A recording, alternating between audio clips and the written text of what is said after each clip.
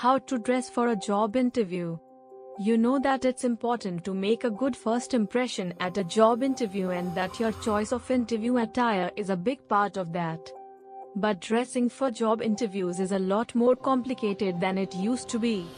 When in doubt, dress up a little. Dress codes vary. For example, a tech startup in Silicon Valley might frown on someone who dresses too formally, while a Fortune 50 company on Madison Avenue might frown on someone who dresses too casually. Different industries have different expectations of how candidates and employees should dress.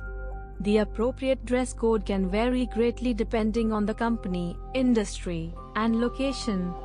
However, regardless of what everyone else at the company is wearing, it's essential to take particular care with your appearance during a job interview. In both cases, being well groomed with clean, untattered clothes is always required.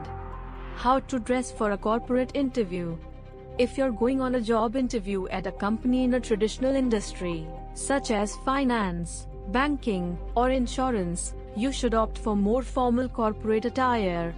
In general, this means a suit and tie for men and a pantsuit or skirt and blouse for women. Men's interview attire. The best interview outfits for men in the corporate world tend to be conservative. Men should always default to wearing a suit. Here are a few guidelines for men who are interviewing in corporate roles. Suit in a solid color such as navy, black, or dark gray. Long-sleeved shirt that is white or color coordinated with the suit. Leather belt. Tie. Dark socks and conservative leather shoes. Little or no jewelry. Neat, professional hairstyle. Limited amount of aftershave. Neatly trimmed nails. Portfolio or briefcase. Women's interview attire. In general, interview fashion for women in corporate jobs is more complicated and varied than it is for men. The increased options make assembling an interview outfit a bit more challenging for women than for men. For instance, if you're wearing a dress or skirt, you need to decide if you should wear pantyhose or if bare legs are acceptable. Women also need to consider interview accessories and choose an appropriate purse. The best interview bags are ones that are professional and large enough to fit a resume but aren't flashy. Here are the fundamental building blocks of what women should wear to a professional interview. Suit in navy, black, or dark gray. Suit skirt just below or above the knee. Coordinated blouse. Conservative shoes. Limited jewelry. No very large dangling earrings or arms full of bracelets. No jewelry is better than cheap jewelry. Professional hairstyle. Neutral colored pantyhose. Light makeup and a limited amount of perfume. Clean, neatly manicured nails. Portfolio or briefcase. How to dress for a more casual interview. When the workplace or the job is less formal, the dress code may be more relaxed. If you're not sure what to wear, it's fine to check with the person scheduling the interview. Business casual, you can leave the suit at home, but don't get out those jeans just yet. Business casual means no jeans, no sneakers, and no apparel that would be more appropriate for the gym or the club. Startup casual, jeans may be okay for an interview at a startup, but make sure they're clean and free from holes or ragged seams. You're going for stylish, not sloppy, and it's still a good idea to dress up a bit more than the folks who are already working there. What to wear when there's no dress code, not sure what to wear. When there's no real dress code, keep it professional and utterward business casual.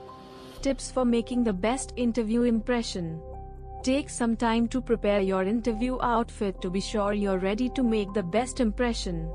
Well in advance of your interview, make sure you have appropriate interview attire and everything fits correctly.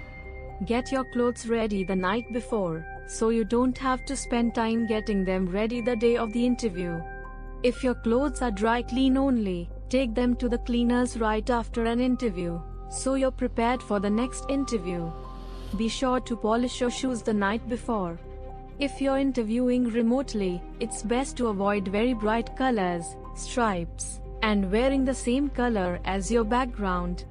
What to bring to the interview? In addition to getting your interview attire ready the night before, also gather what you need to bring with you. Interview location slash directions. Contact name and number for the person you're meeting with.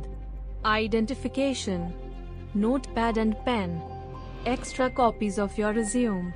Laptop or tablet to showcase your work, depending on the job. You can bring your smartphone but make sure it's on mute or vibrate during your interview. It avoids the risk of getting a distracting loud text alert or phone call mid interview. Know the corporate culture before you interview. Traditional industries demand more corporate attire, while startups may find suits stuffy.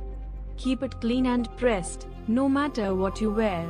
Make sure it looks new or well tended. Pay attention to your grooming. Keep your hair neat and any accessories or makeup understated. Remember that you're trying to let your talent shine through. The interviewer should remember your skills and experience, not your outfit.